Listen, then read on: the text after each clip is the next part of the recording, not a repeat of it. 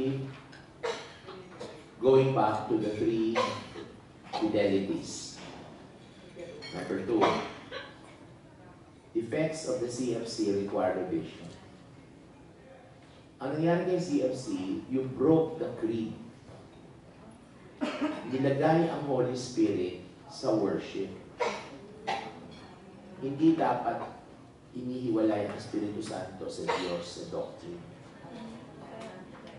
So, sa revision, ibabalik ang Espiritu Santo kasama ng Ama at ng Anak. Oo. Nilagay, nilagay ng CFC sa, take note ha, kung ang CCC, four parts, ang CCC, CFC, tatlo lang. Ang CCC, four parts. Di ba? Doctrine, worship, morals, prayer. Ang CFC, doctrine, moral, worship, DMW. Tapos, ang ginawa pa, doctrine, nandun ang Father and Son. Walang Espiritu Santo. Nilagay sa third part. Ang sinasabi nga, na ni- tinatanong ko si Father Jenny Diwa, hindi lang naman Espiritu Santo ang nagtatrabaho sa liturgy. Kaya nga, ad patrem, per filio, ang Espiritu Santo, to the Father, through the Son, and the Holy Spirit. So, ibabalik natin ang Espiritu Santo kasama si Ama at ang Anak. Major defect yun. Third, updating of the context to consider lights and shadows of the church and society in the Philippines. Three major trends na dapat maipasok na. Number one, secularism. Two, post-truth. And religious fundamentalism. I'm asking the assistance of Father Albert Alejo and later with the UST Research Center in terms of contextualizing challenges of the youth. So, babaluhin mo yun. Yan ang mabigat. Number four, take note, kung 20 years ago, wala pa si Benedict. Wala pa rin si Francis. We need to update content to include Deus Caritas Est, Specialty, Lumen Fidei. Tama? So, ipapasok yun. And this very important document, Evangelii Gaudium, which is the Magna Carta on the new evangelization. At ito, yung encyclicals of politics, economy, culture, and Filipino spirituality, dapat maipasok. Kasi sinulat yan, 1997, 1998, 1999, 2000. Yung apat na documents na yun. Ang presidente nun was Archbishop Oscar Cruz. Proposal 4, 5. Clear and coherent presentation of the truths of the faith in light of the hierarchy of truths and the hierarchy of values. Care for endorsing one school of theological thought while compromising the truth of faith expressed in the CCC. In other words, ang bigyan natin ng diin yung mahalagang doktrina para madali. Kasi ang pinopropose na, pag natapos yun, ang ginagawa ko lang ngayon is morals. Sa doctrine, may ibang gagawa. Sa worship, may gagawa. Para specialization ang gagawin. Next, number, proposed committee members. Ayan.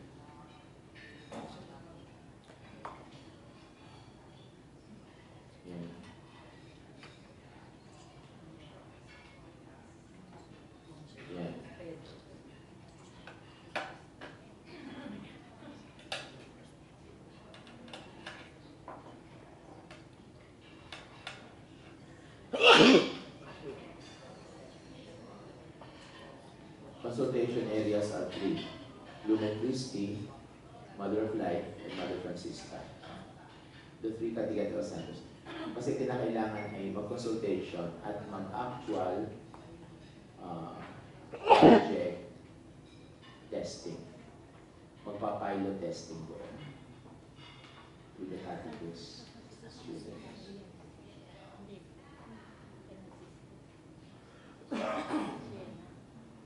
So proposed directions for the revision is the concept framework of Staffel beam. Ang Staffel beam kasi is a methodology of context input process output. Okay. Next.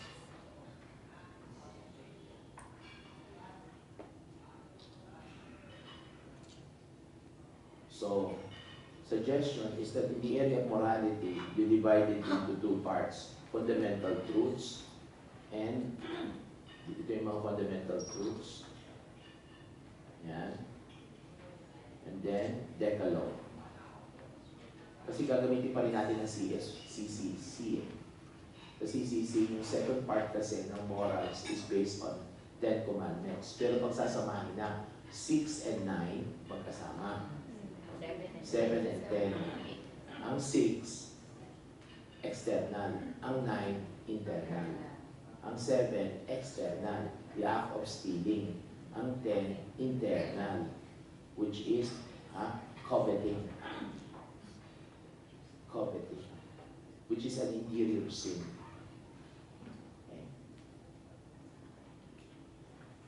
So the criteria of Christian moral life, yan, the church as shaper of moral character, bearer of tradition, punitive moral deliberation. Maganda itong images of the church sa moral theology. Ito ginagamit ko. Shaper of moral character, bearer of moral tradition, and community of moral deliberation. And we need to include this, circles of discernment.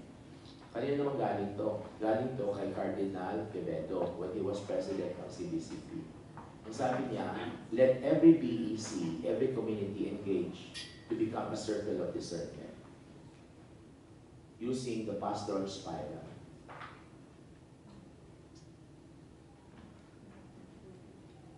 And the formation of the Filipino social conscience with the pastoral spiral and Catholic social teachings. At ito dapat ang idagdag, ng pagpapakabanal. Kasi nga natapos 1997 yung CFC. So wala na yung 97, 98, 99, 2000 na pastoral letters na sa PCP2 sinabi, balikan niyo yung apat na documents na yun kasi mahalaga. Because that is catechesis in context. Especially, landas ng pagpapakabanal.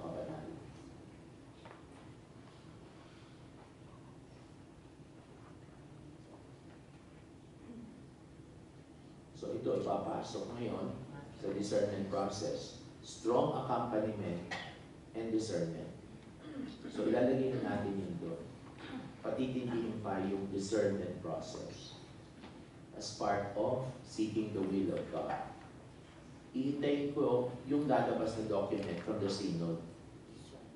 Kasi yun ang topic ng Synod of Bishops. Youth and discernment. Lumabas na ang instrumentum laboris. Ganda naman. Ganda, ganda. Very Ignatian. Makikita mo talaga yung spirituality ni Pope Francis. Strongly Ignatian. Not Jesuit, ah. Ignatian. Ignatian. Okay. Now, let me now end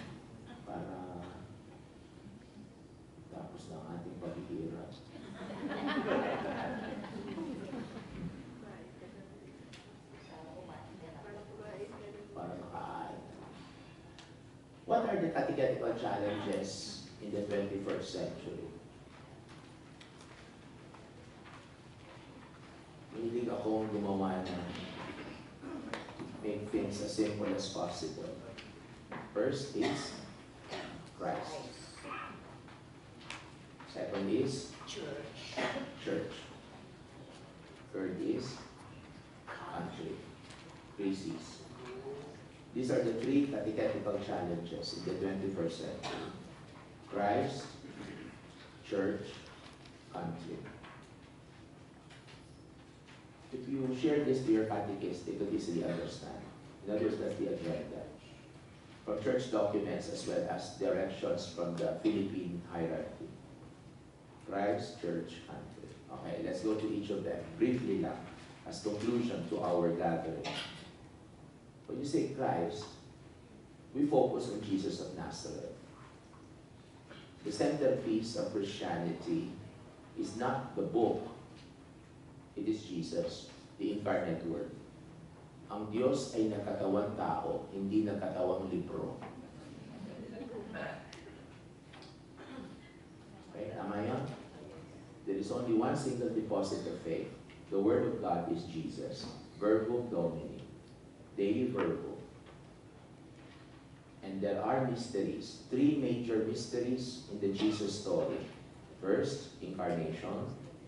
Second, public ministry that moves to the kingdom of God, vision. And third, the paschal mystery. Three. In the Jesus story are three mysteries. Incarnation, kingdom of God, paschal mystery. To make Jesus known and loved, you need to once again tell and retell the story of Jesus. The three mysteries must shine. We are the religion of the incarnate Word. Now, is that enough? Therefore, the challenge is to form men and women of character. What is the character? When did we receive character? When we were baptized. Tama? We become other Christ. Alter Christus, ipse Christus. Ulitin ko. Alter Christus, ipse Christus. Translation. We become other Christ, Christ Himself.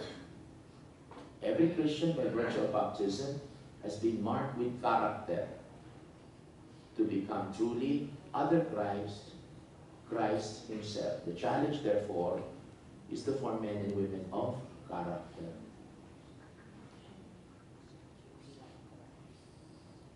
That in us they see Jesus. Okay, that's the first. First challenge is to form men and women of character. Next, church. Sentire cum ecclesia means to think with the church. To be good sons and daughters of the church. Why? We cannot behead Jesus. You cannot say, I love the church, I love Jesus, but I do not like the church. I love Jesus, but I do not like the pastors of the church. Wrong theology. Because Jesus brings us to the community known as the church. Now, point, point. Huh? What makes the church holy is not the pope, bishops, and priests. What makes the church holy is because God is present in the church. The holiness of the church is not dependent on the morality of priests. The holiness of the church is dependent on the presence of God, His abiding presence in the church. I shall be with you until the end of the age. In other words, what makes us holy is God Himself. That is why the church is holy, because God is holy.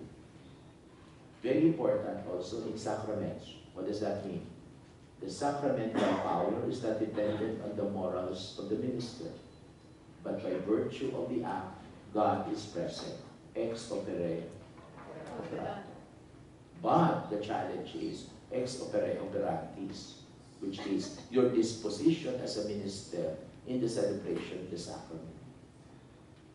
How would you allow the grace to be fruitful? Because for one thing, it's a question of validity, ex opere operato. But it's a question of fruitfulness, ex opere operantis. And the two must go together. Not enough to say, nagmisa ako, but how wholly have you struggled with the mysteries is ex opere operatis. Your disposition in the Mass. When the attitude is, I celebrate this Mass primum, ultimum, solum, I celebrate this Mass and because it is my, as if it were my first Mass, my last Mass, and my only Mass, I give the best in the celebration. It's an attitude of celebration. That's ex opere operantis. Because grace builds on nature. Okay. Therefore, to love the church, in spite of the persecution experienced by Teresa of Avila, the last words uttered by her on her deathbed was, Al fin, yo soy hija de la iglesia. In the end, I am a daughter of the church. The satiric of iglesia, therefore, is this. The challenge is to form men and women who have great love for the church. Mahalin. But the church is jurisdictional. Ang dapat ituro sa bata ay, which parish do you belong? Which diocese do you belong? Who is your bishop? Because the bishop is the vicar of Christ in his diocese. He is the vicar of Christ. It is found in Lumen Gentium. Because the bishop is Christ among us. That great love for the bishop. And the priests are collaborators of the bishop. The closest collaborators that is found in Lumen Gentium. Therefore, to love the pastors of the church is to love Jesus. To have great love for the church means to recognize that the church is hierarchical. The word hierarchy means the rule of priests. Hieros means the rule of priests. Now, the rule of priests does not mean domination, but ministerial. The rule of priests is ministerial. Our ordination calls us to minister. What does that mean? To be of service to the laity. John Paul II said that in Holy Thursday. Sabi niya, hierarchy is not above the laity. Hierarchy does not run parallel with the laity. Hierarchy is for the laity. It exists to serve. It is ministerial in character. We are here to serve. That is why maganda ang symbol eh, ng year of clergy and consecrated. Jesus washing the feet. Ministry, si Cardinal Densi ito, means minus three. I must look at myself three degrees lower than the people I serve. That's his theology. That is Densi Rosales. Minus three. Three degrees lower. We stoop down. Because the people around us are our masters. Because they are Jesus for us. It's an attitude. To have a great love for the church, therefore, the Christian people of God must love the pastors.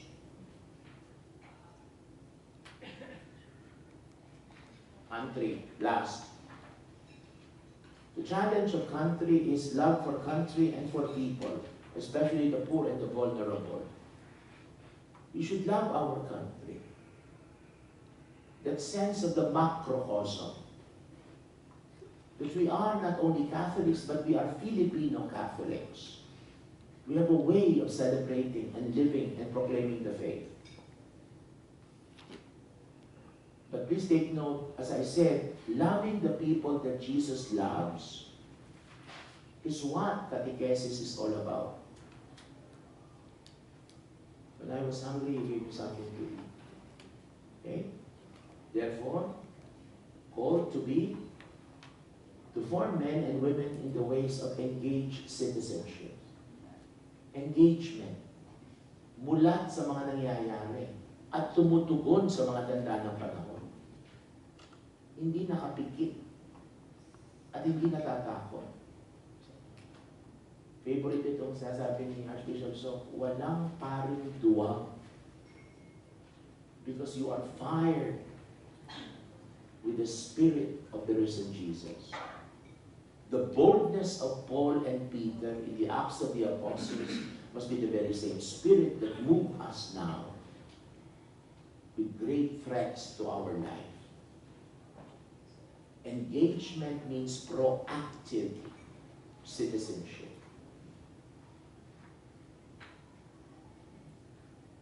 So these are the three challenges, uh, brothers and sisters.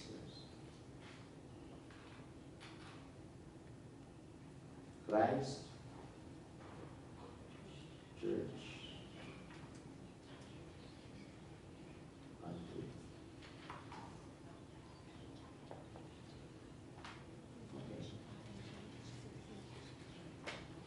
Thank you.